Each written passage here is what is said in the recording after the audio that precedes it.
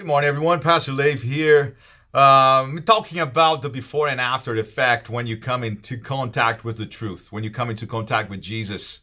We're using some personalities in the book of John, uh, more specifically, John chapter 12, where we see the before and after effect. I mean, we started in, in Hebrews 4, you know, that the word, it, it divides the word is going to point out the word is going to cut the word so it's going to hurt really if you want to have a, a, clear picture or a view not only of the word it's a living word but of your own life you know? So uh, i was talking about lazarus the before and after effect in the life of Lazarus, how what had happened in his life, and how God used his sickness to glorify His name, and for many people to believe that He is the Christ, the Son of the Living God. Today, I want to talk about Martha, the before and after effect in the life of Martha.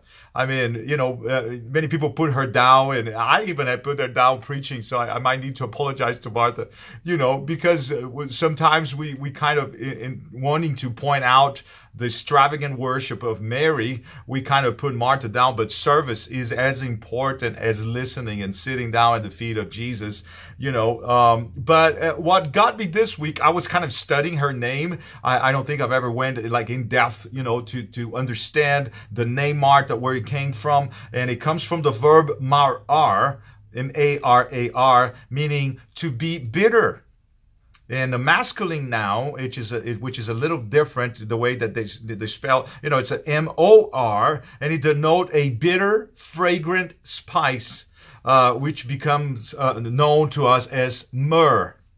Uh, the root verb, mara, means to be contentious, rebellious against, or disobedient towards, which is obviously a stance adjacent of marar, meaning to be bitter. So our verb mara is used 45 times in the Bible. The large majority of occurrences describe mankind's disobedience towards God. The verb mar means to change, alter, or exchange, and it obviously looks similar to the previous word, particularly the noun mor, meaning myrrh. This is possibly an etymology, uh, etymological coincidence, but it probably caused the popular mind to relate to change, or at least changed marked by something. So it's like bitterness came as a result of something that happened either as a cause or a consequence. This suggests that the bitterness expressed in the verb marar is not a mere static situation of a certain intensity, but serve as an incitement to or a consequence of change. So, in other words, when you see the name, and we know, you know, in the Hebrew language, when you see a name, a name carries a lot. The weight, what the person stands for, the, the characteristics or the character of the person. It was expressed in the name. And that's why there was a change of name from Simon to Peter, from Saul to Paul, from Jacob to uh, Israel. And, and that, I mean, the weight it is so amazing when we see, uh, you know, the, the meaning behind the name. So when we see Mar- Martha, not Mary, Martha, I, I believe that Jesus, when he called her attention, and, and, and that's in Luke chapter 10, I just want to go there to, to remember a little bit because, you know, she welcomed him to her house and she had a sister called Mary who also sat at Jesus' feet and, and heard his word. But Martha, which is Mar-ar, Martha was distracted with much serving and she approached him and said, Lord, you do not care you do not care that my sister has left me to serve alone. Therefore, tell her to help me. Um, and Jesus answered and said to her, Martha, Martha, you are worried and troubled about many things. Worried and troubled. There's nothing wrong with serving, but when you serve from that platform, when you serve from that place of being worried and troubled by it, you're doing it, but you're not enjoying. You're doing it, but you're bitter. You're doing it, but you're concerned with others that are doing other things. That is the problem. So that's the first encounter that we see. And from that on, we see that, you know, I, I, mean, we see how much Jesus loves her, how much he loves Martha, how much he loves you and me, how much he loves, even if you are in a place right now, and because of the consequences, because of things that are going on, it made you bitter.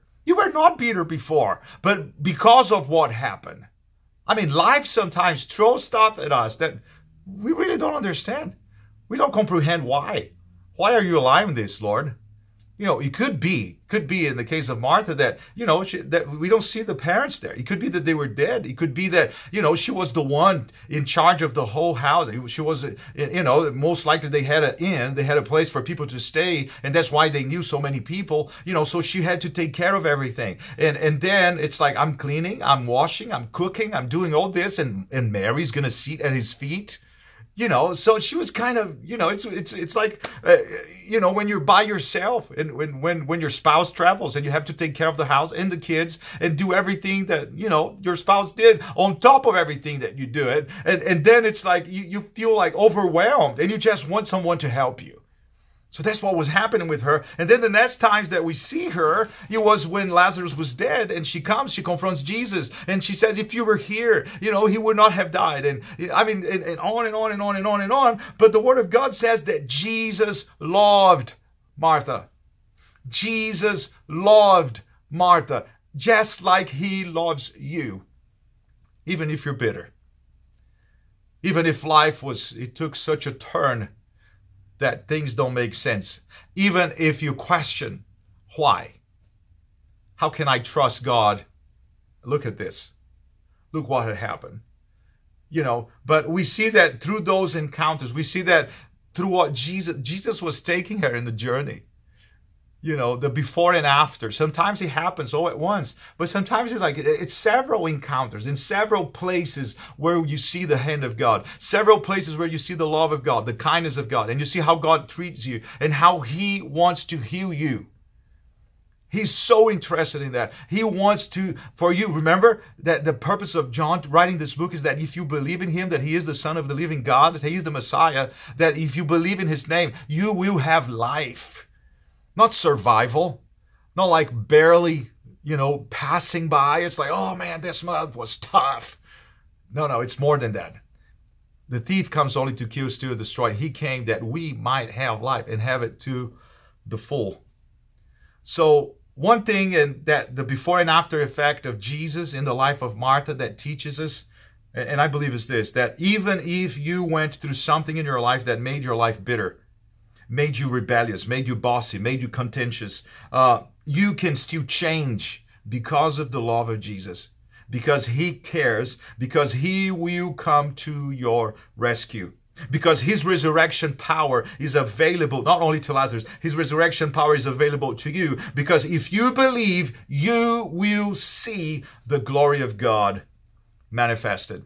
So when we go to John chapter 12, we see that six days after, before, I mean, before the Passover, Jesus came to Bethany where Lazarus was, uh, who had been dead, whom he had raised from the dead. There they, they made him supper and Martha served. But Lazarus was on one of those who sat at the table with him. You don't see her bothered anymore. You see she's excited, she's serving, she's blessed you know, that transformation took place. I mean, it was the same thing that she was doing before, but with a different attitude. And we hear that all the time that attitude determines altitude, the way that you do things, the way that you serve. Not only the Lord, the way, the way that you serve others, you know, what you put out, it's what you receive. So, you know, start putting out something that people will look and it's going to bounce back to you. And sometimes what is bouncing back to you is what you're giving to them. It's your attitude. So if you change, if you love, boom, it's going to come back in love and you're going to get, have a different harvest. Amen. So let's learn that with Martha today. Father, in the name of Jesus, I pray, give us the grace to learn, to have this before and after effect. Not only the life of those in the Bible, that we would have it in our own lives, Lord God, that we would see the before and after effect of meeting the truth, the living Word of God. I pray that you bless us today. I pray, Lord God, if those that are bitter, that are resentful, those that are hurting right now. Lord God, that your love would be revealed in such a way that change would come, that joy would come, and that we would serve from a different attitude in Jesus' name. Amen. Love you. Pastor Leyff. See you soon. Bye now.